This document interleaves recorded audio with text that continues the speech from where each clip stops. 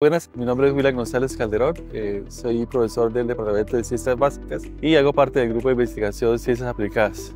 El proyecto de investigación se denomina hacia un modelo continuo de valor agregado y lo que, lo que pretende es crear un instrumento de medición del aporte que le hace la universidad al estudiante, el aporte real. Eh, los estudiantes ingresan con unas competencias de entrada que son medidas por las pruebas Saber 11 y eh, casi al final de la carrera aplican las pruebas Saber Pro. Entonces, eh, esa diferencia entre Saber Pro y Saber 11 es el valor agregado. Entonces, eh, lo que se hace es crear un instrumento que pueda medir esa diferencia.